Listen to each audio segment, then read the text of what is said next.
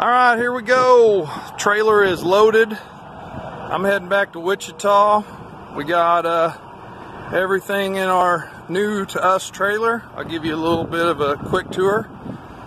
Got a couple spare motors ready to go.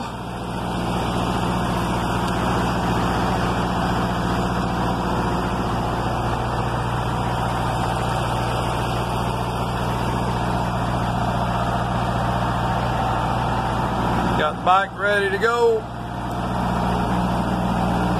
Wheelie bars are ready to go.